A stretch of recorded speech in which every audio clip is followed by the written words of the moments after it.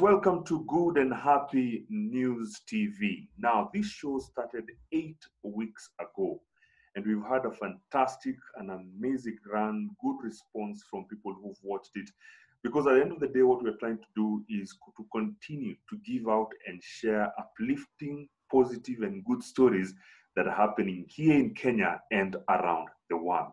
Now, we've seen amazing stories. We've seen amazing experiences of people out there, as much as they are being hit left, right, and center, center by this uh, pandemic, they are resilient. They are willing to just keep on moving one step at a time, one day at a time, to be able to get through this pandemic. And of course, here at Good and News TV, we look at sharing and shining the light on these stories. Now, in this episode, we've decided to take things a little bit different. We are going to be shining the light on people, ordinary Kenyans, ordinary people who are taking their own time and going beyond their call of duty to help other people. Now, Giving the Giver is a feature on Good New, Good and Happy News TV that we'll be having every week, and we hope it might even become bigger because we have a nice story to tell as our first episode. We stumbled upon a foundation that has been working around the clock and it's being led by a 25 year old young gentleman by the name of Ali Kapasi. Now, he was fortunate enough to, you know, get a lot of help from people around him. But then again, that did not deter him from continuing it, even at a very young age, to be able to, you know, think about others and putting others ahead of himself. And that's what really is very important about these stories. He has an amazing story. 46 families he managed a week ago to get them a roof over their head. We'll get to know those details. But of course, I'm joined by my teammate on Good and Happy News TV, that is Anne Wangoi, who is a part of this amazing team. Anne, how are you? I'm fine, thank you. Thank you so much. Thanks me. Yeah, karibu sana. Karibu sana. Can you imagine we've not met since we started doing this together? This is the first time, guys, that we are actually meeting me and Anne. Anne has been very kind to be part of this team, and she's been volunteering her time to help us with content and helping us put together the amazing stories that we've been sharing with you on Good and Happy News TV for the last couple of weeks. So Anne, of course, takes up uh, this uh, new challenge and she managed to track down Ali Kapasi. But before we go to Ali Kapasi's story, how are you holding up and how are you doing, Anne? I'm doing well, trying my best to stay healthy, stay safe, and keep my family safe as well. Fantastic. Yeah, yeah. All right, Ali's Ali Kapasi's story is amazing, and here at Giving the Giver, we are looking at Mhm. making uh, noise and good positive noise about people who are going beyond their call of duties to help. And yesterday, or should I say, Mhm. um, a few days ago, you managed to get to visit uh, Ali Kapasi doing what he's doing with his foundation. It's called the Aloha Foundation. What did you think about Ali and uh, this amazing story that we're just about to share? First of all, it was very surprising to see how young he is. For someone so young to be doing such a huge magnitude of work, uh, I would just say props to him for the impact he's had on people around that Kariobangi South area. Uh, it was also very heartbreaking to see what the women there are going through because they have children and uh, they look up to you with so much hope to help them. And for Ali to have taken that step to actually help them and hold their hands, as much as uh, as much as there are not so many, but he has done a very good job, just holding their hands and guiding them and getting them somewhere to stay and sleep at night. You know, a roof of their, over their heads. So you were the one on the ground. You went with Morris, the uh, cameraman, to go and uh, get this story on the ground.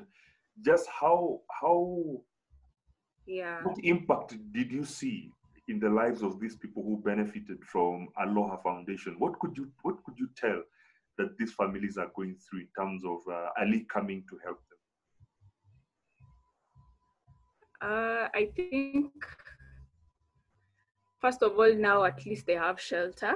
Because talking to them, they were saying how they had nowhere to sleep, you know, so they were so unsafe. Some of them even have young girls. They were so afraid that, you know, something can happen to them outside.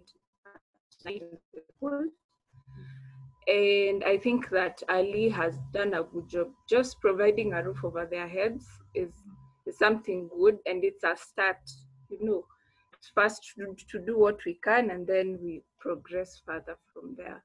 But uh, I think their lives have changed from from how they were, uh, say, two weeks ago when the houses were demolished.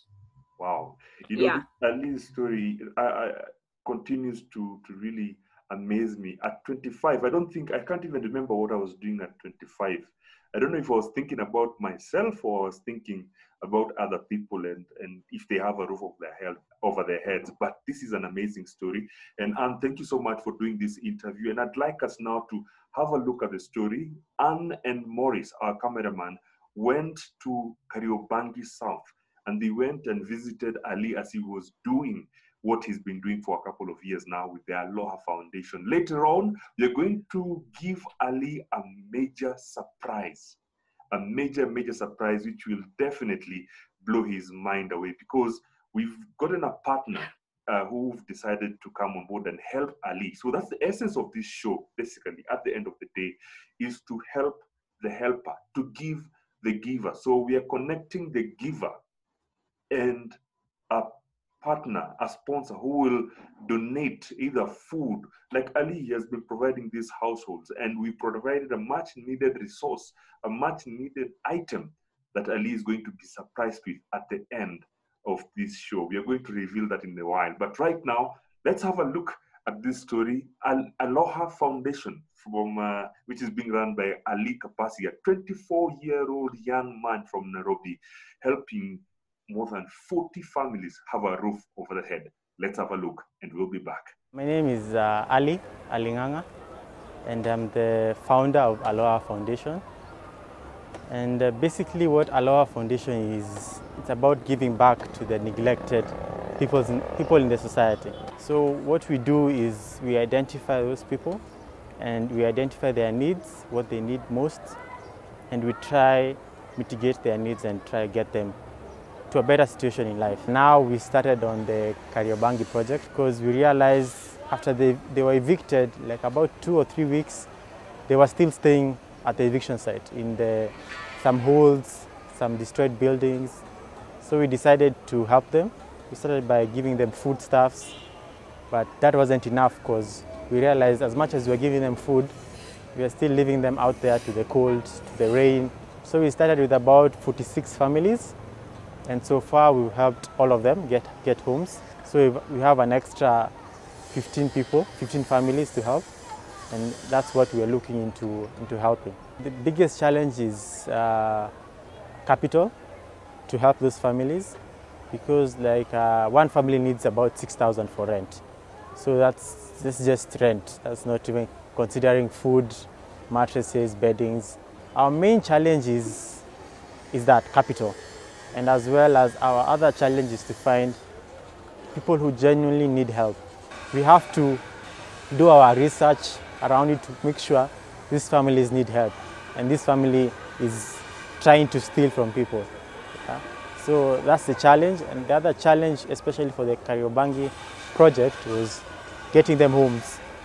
Like uh, once people realize some people have been evicted, they hiked their price to even double. So getting homes where, whereby the, the families will be able to pay even after the one month rent has been paid was a really big challenge. I, I would say the, work I'm doing is, is important, but not as important to, than to who we are helping.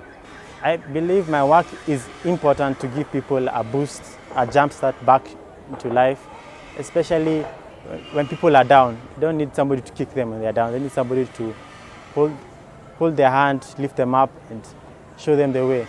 What we really need the most right now is capital to be able to get the, the rest, the other 15 families, uh, a roof over their heads, and as well now to get their mattresses, jikos, foodstuffs, beddings, just to you know give them something to continue hoping for a better tomorrow. nilikuwa nakaa hiyo sewage. Sasa mi niliamka tu asubuhi natajitayarisha kwenda, nilikuwa nimekaa hapo na kibanda, sikuwa nalipia hiyo kibanda, kwa tumejenga kibanda, nafanyia hapo kazi yangu na watoto wangu wakikula. Akachukua majina, alichukua na kwanza na video, akaenda nazo, tukaandika majina, akaenda nazo pia. Sasa nilikuwa nimekaa, kanipigia simu, uko wapi? Nikaambia kwenye ninakaa, nimekaa kwa, kwa rafiki yangu. Sasa akaniambia kuja, nikakuja. Kweli alinileta hapa, kaniambia nyumba iko, utapata, unaweza pata mahali pa kukaa uko comfortable. Kaniambia mimi, nikamwambia niko sawa, niko sawa. Sasa kukaa hivyo ndio Ali alikuja, kaniambia ka confirm hizo majina, na mimi kitu ningesema mbele ya Mungu, nimesaidika, nyumba nimepata, hata watu wangu watalala kwa vizuri. Sasa kitu ningesema kitu ningesema kama kuna jiko anaweza tuletea na mattress, tukiwa sawa. Mimi nilikuwa nafanya biashara, hiyo home ilipasuliwa, sijui nitaanzia wapi. Kama tuna msaada mtu anaweza ni boost nifanye kama hiyo biashara juu ya watoto wangu ningesema asante sana. Good to see you, Angela. It's been a couple of weeks of trying to get to this point, and I'd like to say thank you for for really uh, making this possible because this is a journey that I think um, will bear fruits in its own way as we continue to applaud and appreciate people out there, ordinary people who are actually out there helping other people. And uh, as you know, Ali, uh, your son, has been uh, doing an amazing job through his uh, foundation, Aloha Foundation. So this moment is his moment, and we'd like to appreciate him. But before we do that, just give us a little bit uh, of a background to what got Ali into this space where he, instead of at his age thinking about himself, he's thinking about other people and how you can help them. Right. So thank, thanks, Eddie. Um, yeah, it's been, as you said, it's been a couple of weeks of, of trying to keep this undercover. I'm not too sure I'm, I'm very good at, at being undercover, but um, thank you for your patience around this and and really for um, you know for the honor of um, of, of taking uh, consideration of what Ali has been doing. Uh, but if I think back uh, to the early years um, when you know pretty much before before his early teens um, and when we would go out as family to to do some you know help with um, families um, who are less fortunate. He always had a passion for that. I mean he was one child. If i said i was going to mama fatuma's to you know to visit them over the weekend and you know take them some foodstuffs he was always willing to accompany me Wow. uh, and just basically took an interest in in, in, in that perspective uh, right from when he was a, a- a young child. Uh, but what was most interesting for me is, you know, when he started, when he went into high school, um, and during the holidays, um, you know, when we would go to church um, on, on Sundays or even on Saturday, he would ask for some additional money and say, Mommy, I want to go and feed some street children. And I would be like, Street children? I mean, and he would just start off with a couple of loaves of bread. And initially I thought, okay, this is just a one off. But then it became a weekend, you know, a weekend affair. So every other weekend he would he, he would go out and just feed street families. Wow. Uh, when he went to Daystar, um, again in the early years, they got together with a couple of friends, and he told me, "Mom, I want to, I want to start a SR initiative." Um, and and that's basically how Aloha Foundation came to being. And um, he's been very consistent around those activities. I mean, it's it's really a blessing to have a um, you know a child who really thinks about others first before himself. And um, It's it's- amazing. It, it really touches, it touches my heart to see a young person really taking that sort of initiative. And so it was it wasn't a surprise that you know when the whole COVID issue emerged Mhm. that um, he specifically you know first he had an interest in understanding about the illness about the effects of it uh, but then more importantly then you know he, he took a social angle to it in terms of wanting to support the families Mhm. and so he started with some homes initially um, and then he went to the um, he went to you know uh, Fogoto and, and a couple of other homes for the elderly and uh, most recently when the, the the plight was highlighted of the you know the homes that had been rendered uh, you know or the, the the families that were rendered homeless uh, Yeah. due to the evictions in in Kariobangi And he said, Mama, we've got, we've got, I've got to do something about it. Mm. Uh, he was recognized last year by Daystar, uh, you know, as, as, you know, for his, for his, uh, uh, social social work. So he, he he won the top award for during their Wow. their, their DUSA awards. So I mean, it's it's it's it's um it, it, really warms my heart. Definitely, be it, it, it, it's it's this is big. I mean, considering again the age and um, just the capacity to think uh, that you can find ways of providing for the underprivileged. Now, of course, uh, it's an amazing journey, which we think it's important to continue supporting, and I think it's time now we we actually bring him into the picture. And now, how I'd like you to do this is just call him and tell him. Uh, you know, just tell him there's somebody who'd like to talk to you um, on Zoom, a friend, and then I'll pick it up from there. So if you could just call him. Thank you so much, actually, for, Okay. for, for giving us that background. It really, really helps a lot, Angie. Thanks, thanks, thanks a lot, Eddie. Thank you. Yeah, I know the anticipation.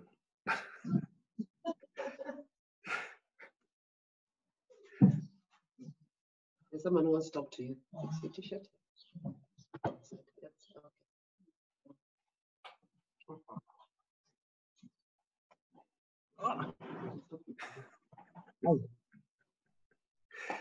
Ali Kapasi.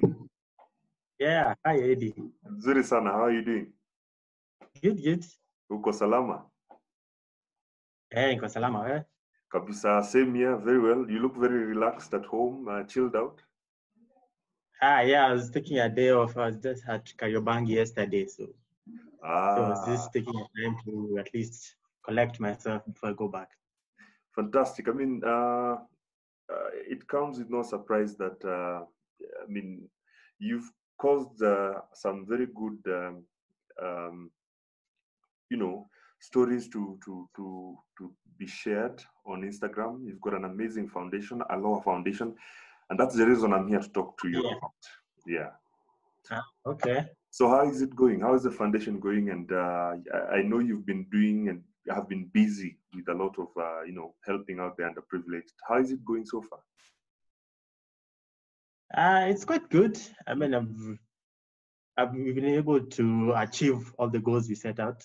hmm Just uh, recently, we set out we set out to help the Kariobangi families, about 46. Um, we set this out last week on Monday. hmm and by this week on Monday, we had already uh, gotten the 46 families homes, Wow. homes where they could leave their kids and they Mhm. could go back to work. And just yesterday, from the 46 families, Mhm. about 30 of them have already gone back to work. Wow. Yeah, they're even saying, I mean, you already gave us the lift we needed. We're, we're back, we're back to to work. And thank you so much. And that's and that's all we need to do: giving each other a lift and reaching out to them. And uh, I really commend you, uh, Ali. I think uh, your commitment is just goes to show that uh, you're not just doing this for doing it, but it, it's to actually have an impact. Yeah. So especially now as we go through this very difficult time. Now, I'd like to introduce you to somebody, Ali. I don't know if you're ready. Okay. Uh, we have we have some good news Uh, for yeah. you. We have some good news for you. And um, Okay. you actually yesterday's interview, you were we pranked you. It was a prank. Ah, It is not an online. okay. It is not an online media house. Uh-huh. It's actually a show that uh, I run. It's called uh, Good and Happy News TV, and uh, Ah, we okay. have a feature which we are running, and this is our first feature where we want to Uh-huh. acknowledge people out there who are helping other people by helping them because there's no way you can help if you have nothing. You cannot give love if you have no love in your in your heart. No cannot love, true. support if you don't support yourself. So I think first of all you've placed yourself in a place where you can help people, and that's why you're doing what you're doing. Yeah. So allow me to bring on to this conversation the marketing manager for Superfoam. Um, they make mattresses. Ah, okay. That is Sanskrati Shetty. Shetty, you can come on now. Mm. Hi, hi Eddie. Hi, Hi, Ali. Shetty. you? Hi, how are you? Good, good, all good. Now, Ali, uh, we've been following your story and we've been seeing what you're doing, and uh, we've been touched by the great efforts that you're putting in to help these families. You just said 46 families were were helped yesterday by uh, this coming past week and this week by getting a roof over their heads, and 30 of them have managed to at least the the leads, the the the the, the, the, the heads of the family have managed to go back to work and and, and Yeah. really really great. So Yeah. Shetty here is from Superfoam, as I had mentioned. She's the marketing manager, and we were talking about how we can help you. And uh, Uh-huh. Superfoam has been very, very kind to come through to help us. I'll not tell you what it is. I'll let Shetty do that. But before I do that, Shetty, I'd like to really thank you once again for Yep. giving us uh, a chance to help other people who are helping other people. And uh, Superfoam, of course, a renowned uh, uh, manufacturer, a big industrial uh, manufacturing for um, our, our mattresses and our pillows. How are you coping with everything right now, considering you also you're, you've got a big number of staff and a business to run? Sure. First of all, Eddie, thank you for giving us this opportunity to be a part of this show that you're doing, where we're helping the helpers who are helping uh, people in the society during these tough times. Mhm. So, um, I mean, Ali, we'd just like to commend you on your efforts that you're taking, and we're just overwhelmed that a 25 year old a young boy is even you know working towards this. And we're so happy to know about your story uh, that you know it totally we wanted to be a part of this because our brand totally believes in giving back to the society. Csr is a huge part of our uh, business. So Yeah. du- du- during these tough times as, as well uh, while we're trying to sustain our business which is obviously the primary goal but uh, Mhm. we are very active in our csr initiatives right now because we know kenya needs uh, you know the required support. And in uh, in whatever we, we can as a brand superfoam is get is uh, getting into initiatives collaborating with uh, people to kind of help in whatever way we can. And uh, because we are mat- mattress manufacturers i think uh, sleep and taking rest and you know recovering is a huge part of Very uh, important. Yeah. situation right Yeah. now yeah so so yeah so we're very active in a lot of initiatives of us and uh, Mhm. yeah we're very happy to be a part of this Shetty, it's amazing. Consider you, you you've said it yourself. Somebody as young as Ali, is somebody that we need to support, and and I really appreciate. So I'll let you, Shetty, give the Yeah. good news to Ali. Just share with him what what Superfoam has decided to do for Aloha Foundation. so now that we've heard that you know you're going out and providing housing and i think uh, obviously all of them will need a mattress i'm sure a lot of them have but we'd like Yes. to provide them with uh, with mattresses all the houses Uh, with mattresses That would be amazing. That would be really amazing. yeah i hope you like that Yeah, that would be amazing. Especially for the That's what we've families. decided in a small way while you're you have big plans and you're executing them in a small way we'd like to come in as a brand and superfoam would like to provide the mattress Ah, that would be amazing. It's not even a small way, that's a huge way. I mean, for a family that's sleeping on the floor, on the the the wood, that would it's a, it's a life-changing thing for them. right right Yeah. that's Ali, and of course, it's it's a, a huge, just a small part of what um, everybody out here who knows what you're doing can can do for you. But maybe, uh, Shetty, you could tell us what, what is the value of what you're giving in terms of Ali, because so that they can also just have a, a visual of what magnitude this amazing gesture coming from me is going to be to him. Sure. I mean, you know, the value of it could be around 200,000.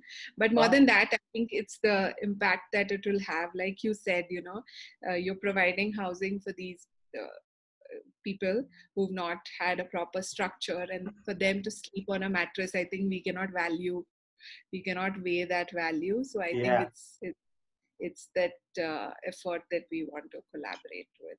Yeah. Amazing. I mean, Yeah. there's no value value to that. Sure, sure. That is priceless for the families. Yeah, yeah. Ali, how do you feel now? I feel good. And I was I was wondering, you know, you know, everyone says what's the what's the plan? So my plan was to first get them housing. Now they are getting mattresses. I mean, it's everything they would they'd want and they need right now. Yeah, we're, we're taking away the problem of where to sleep on. And True. after that, now they just go back to and even the kids. I think Mhm. some kids who are about uh, the babies who are just like two months, three months have somewhere to lie on instead of lying on the floor, the beds with no mattresses. I mean, there's there's no price tag to that. That's just priceless for them. Fantastic. Great, good. good. Thank you Yeah. so much, Shetty. Really, really appreciate it, Shetty. So, Ali, I'm going to coordinate between you and uh, Shetty. And then Okay. when I link the two of you up, then uh, eh, uh, Shetty, I'm sure she'll organize how you get what they Sure. connected. We'll figure that And um, Yeah. Shetty, we cannot Okay. say we cannot say thank you enough, Shetty. And uh, we thank you for that. We thank you so much. Yeah.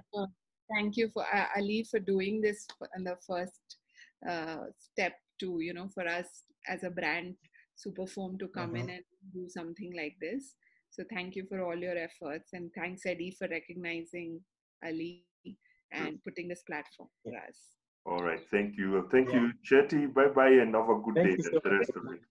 thanks ali thanks eddie Okay, bye bye, Shetty.